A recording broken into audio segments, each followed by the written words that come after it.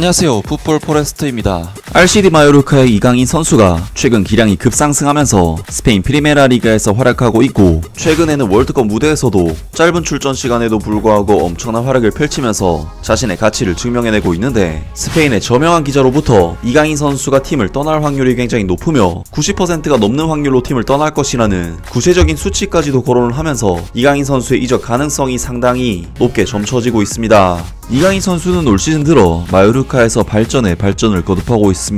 사실 지난 시즌까지만 하더라도 이강인 선수는 주전 경쟁조차 어려움을 겪을 정도로 힘든 시기를 보냈었지만 이번 시즌 이강인 선수는 하비에르 아기레 감독 체제에서 완벽한 주전 아니 그 이상의 팀 내 최고 핵심 선수로 떠올랐고 이강인 선수는 매 경기마다 그야말로 팀의 공격 전개와 볼 줄기를 이어나가는 데 있어 거의 절대적인 역할을 해내고 있는데요. 결국 이러한 이강인 선수의 계속되는 활약과 성장세의 이강인 선수를 그동안 계속해서 외면해왔던 파울루 벤투 감독도 결국에는 이강인 선수를 2022 피파 카타르 월드컵 최종 엔트리에 승선시키면서 이강인 선수를 카타르로 데리고 가는데 이강인 선수는 가나와의 경기에서 교체 투입된 지 단 1분 만에 조규성 선수의 추격골을 어시스트 해내는 등 역시 자신의 기량이 최고조 절정에 올라있다는 사실을 증명해냈는데요. 이러한 이강인 선수의 활약이 계속되자 최근 스페인의 마르카를 포함한 다수 매체에서는 프리미어리그 3개 클럽 정도가 이강인 선수의 영입을 노리고 있다는 소식을 전하기도 했었는데 현재 많은 이적설이 쏟아지고 있는 상황에서 스페인의 저명한 축구 기자인 마테오 모레토 기자로부터 이강인 선수가 마요르카를 떠날 가능성이 굉장히 높다는 소식이 전해졌습니다. 충격적인 소식이다. 매체 렐레보의 소식에 따르면 이강인은 마요르카에서 그의 시간을 계산하고 있다. 마테오 모레토는 그 축구 선수가 이번 겨울 이적 시장을 통해 팀을 떠나 프리미어리그나 에레디비지로 갈 가능성이 90%라고 확신한다.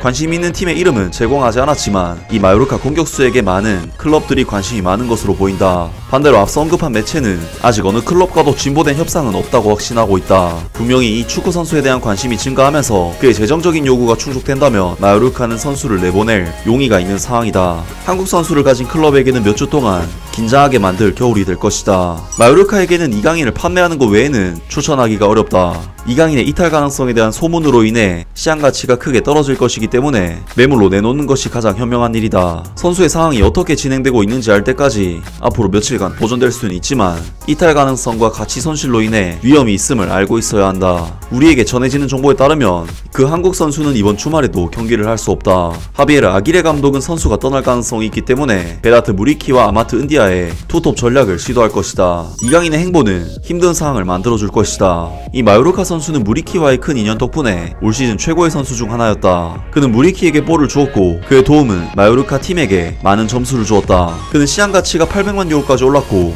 모든 점수 체계에서 그의 점수는 매우 좋다. 라면서 스페인 라리가 내에서 상당한 신뢰도와 인지도를 지니고 있는 마테오 모레토 기자로부터 이강인 선수가 팀을 떠날 것이며 이강인 선수와 연계된 팀에 대해서는 구체적으로 밝히지는 않았지만 프리미어리그나 에레디비시로 이적할 확률이 굉장히 높다고 하는데요. 물론 마테오 모레토 기자가 직접 밝히진 않았지만 프리미어리그 클럽과 에레디비시 클럽을 유추해보자면 이강인 선수와 이적설이 났던 클럽들은 프리미어리그에서는 뉴캐슬 유나이티드와 울버햄튼 원더러스가 이강인 선수와의 이적설 소식이 나왔었고 네덜란드 에레디비시에서는 PSV 아인토벤과 페예노르트 정도가 이강인 선수와 최근 이적설이 나왔던 클럽이기 때문에 이강인 선수가 어떤 클럽으로 이적하게 될지에 대해서는 사실 후보군이 너무 많은 상황이라고 할 수 있는데요. 이강인 선수로서는 사실 스페인 무대에 완전히 특화된 거의 뭐 스페인 국적이나 다름없는 축구 선수이고 프리미어리그의 경우 스페인 무대보다 훨씬 더 거칠고 피지컬적으로도 빡센 환경의 리그이기 때문에 스페인을 떠난다는 것이 걱정스러운 부분은 있지만 제 개인적으로는 이강인 선수가 월드컵에서 우루과이, 가나, 포르투갈 등